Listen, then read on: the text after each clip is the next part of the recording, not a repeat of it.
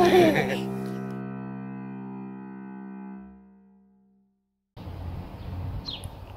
a pretty warm day today.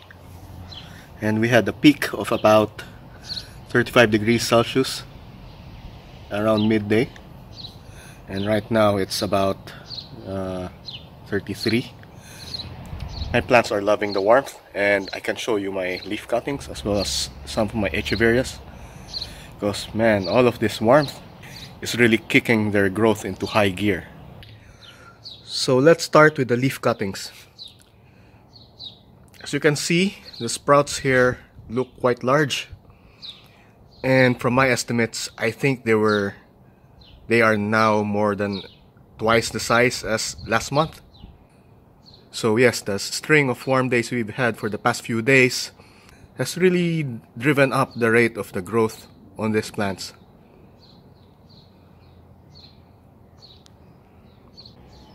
Interestingly, it has the reversed effect on aeoniums. So as you can see, this is the same sprout that I've shown you in a previous video. Uh, the previous video was shot several weeks ago or maybe more than a month ago and as you can see there have there hasn't been much growth on this bud this is mainly because aeoniums are dormant during the warmer months and today has been quite warm and the temperatures have been hovering around this end for about several days now. I've been closely monitoring the growth of my Mauna Loa and as you can see it's looking really big right now. All of the all of this heat is giving it such a huge growth spurt.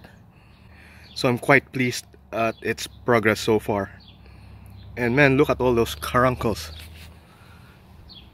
they're getting huge I made the right call pulling out the Romeo yesterday because as you can see this one has retained its colors, but at the same time, it hasn't sustained sunburns yet. And I'll show you shortly the other the other uh, Echeveria agavoides that I left in the same spot, which is still in the area. And I'll show you what happened to it. I left this Gaia. And as you can see, some of the lower leaves have burns. These are sunburns. The same would have happened to my Romeo if I left it here. Because right now the Romeo is still um, is still establishing itself. It's still trying to recover. And both of them have been dehydrated. So the lower leaves are floppy. But I'm not really concerned, and I keep saying this many times, I'm not really concerned with, with the damage as long as the central leaves are firm. So the, the, the younger leaves are firm and from the looks of things the new growth is doing well so I'm just going to going to leave this here but I'm babying my Romeo more because you know it's just more expensive and I don't want to take risks.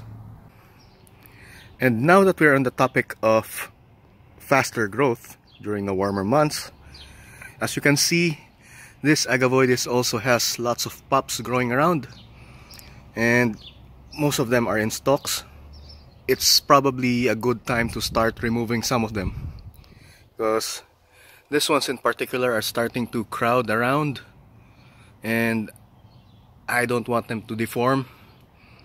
Because if I leave them there and they're they're forced to grow in such a confined space they they would deform and I don't think the the, the parent plant would look pretty after.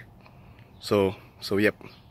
I'm going to separate them give them space and let them grow uninhibited. Because there's nothing else that uh, suppresses their growth more than keeping them in a tight spot. So it's best to give them the space they need especially now that it's the growing season for echeverias as you can see here lots of them have pups growing underneath. But this one in particular has the largest pups. So I might start with this one. I'll leave the others to grow a bit more because they aren't looking so crowded yet.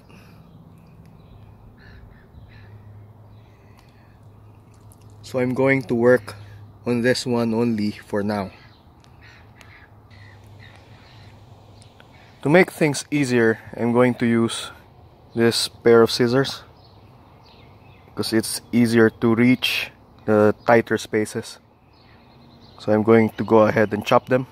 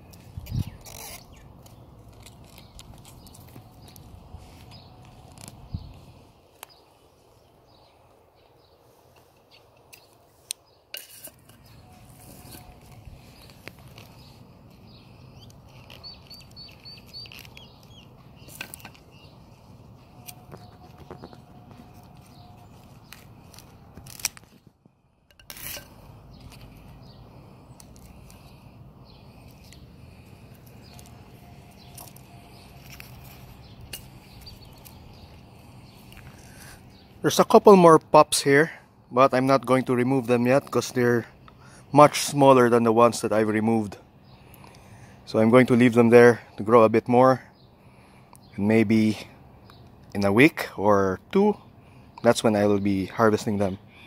And they should be around the same size as this. Or, or rather, uh, they would be growing, right now they're, they're at the same size and they, they would be more or less ready in a couple of weeks. I'm also pretty stoked that my lipstick has put out lots of pops. This is exciting. Alright, I want you to have a better look at my Romeo. So if you look at the bottom leaves, like this one, these are dehydrated and this would be really prone to sunburn if I left this outside. So as you can see it has started to burn. But I removed it early a day early. So unlike the the Gaia this one this Romeo didn't didn't succumb to sunburns yet. The lower leaves are quite fragile and soft. But as I keep saying I'm not that concerned because the, the center leaves are thick, are stiff, and are doing much better. So overall, I'm not that worried. It's just that I it, the Romeo just has a special place in my heart. Another thing I've been meaning to do is to remove this Paul Bunyan because as you can see it has completely fallen over the reason is that due to the growth spurt, it has become top heavy and the aging stalk could no longer take it. It's already lying on the ground. So what I'm going to do is to pull it up and do a head chop like what I did to the Zorro. And in its place, I'm going to plant something else. And a few days ago, I've decided that I want the socialite to be here. So that's what I'm going to do next.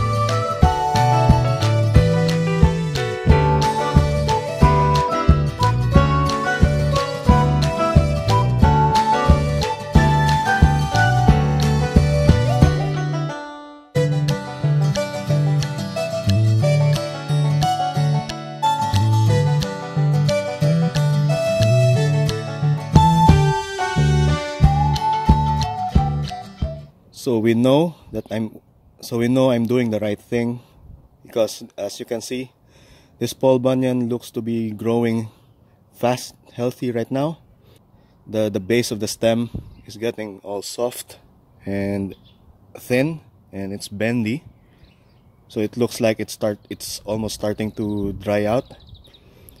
And another thing if you look closely here so there not sure if you can see it. There's some roots growing here. So it's as if it's trying to prepare itself for when this eventually detaches or breaks. If it was entirely up to me I would chop here. But but I guess I'm going to chop much lower. Just so I can take advantage of the roots that have already grown. But I don't know I'll keep thinking about it. I would definitely want to retain the rosette and I don't mind if it grows new roots. So I guess yes, I'll I'll stick to my original plan and I'll chop somewhere here. It's a bit hard to get to, so I'll I'll probably have to remove a few leaves. Yes, that's what I'm going to do next. So I have the Paul Bunyan in hand now. And as I was saying I'm going to chop somewhere over here. So what I need to do is to is to find a way to be able to chop into this cleanly. And for that I'm going to be using this cleaver. But it's hard getting an angle. So I would need to remove one or a couple of leaves. And those would be this two. Or maybe just this one. Depends. So I'll start with this first and I won't mind losing this one.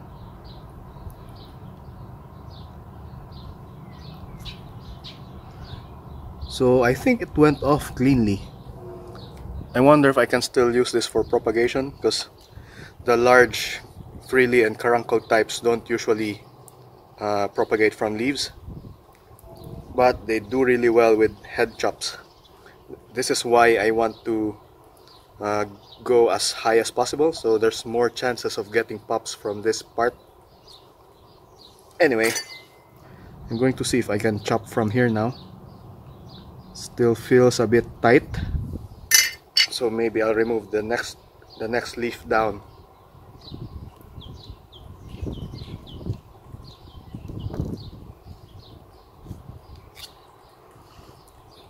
so this was the same. It was also easy removing it. So I've got two leaves now. And let's see if I can chop it properly. Yes.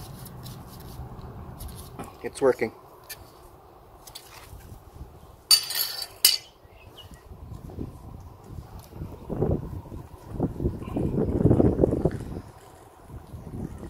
so here's the chopped rosette and here's the base. So I still have quite quite a bit of the base left. And the chopped head is compact. So I'm really happy with how this how this turned out. Like what I did with Azoro I'm going to keep this in bright shade uh, keep it keep it really dry. Well this one I'm going to plant now put it in a pot and leave it until and wait for it to grow pups because it will definitely grow pups along the stem. So as you can see, I now have two trophies. I'm a headhunter. Now as for this one, I'm thinking that maybe I should just end its agony and chop it off now before it dries out or and maybe even cause the the upper parts to rot so I'm just looking for my secateurs and here it is. I'm going to chop off above the dry area. I'm going to let this callus over and heal. Then that's when I'm going to plant it.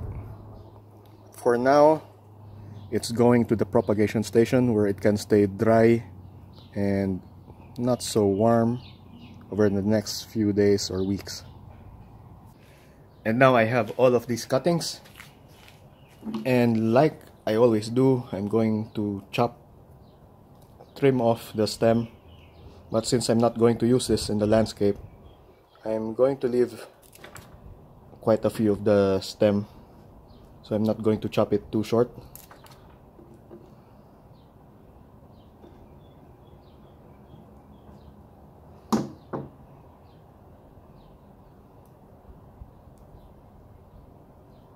I'm just removing the leaves. Because when once I plant plant this one it would be hard with the leaves in the way. So all the lower leaves will be going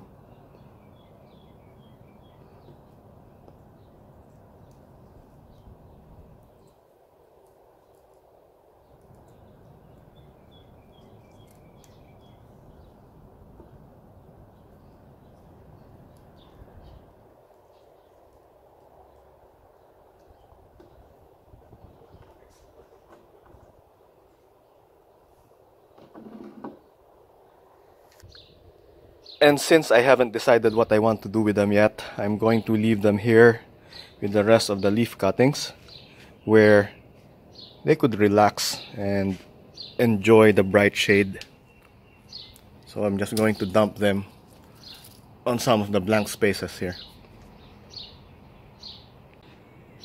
Now that the sun is low, I think I think it's time for my plants to get a good drink because They've endured a very hot day today and now it's sufficiently cool enough without the sun directly shining over them. So it's time for a well-deserved drink. I know that I just replanted the socialite in this spot, but I'm pretty sure I haven't damaged it that much, so I'm not really concerned if I wet it now. And besides, I want to prepare it for the upcoming warm days. Because it's still going to be warm, I think it's only going to be cooler in sometime in the weekend, and that's about three, three, four days from now.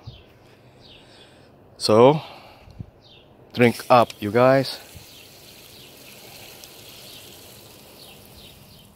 Just as a side note, this Morning Light is doing much better than the Agavoides.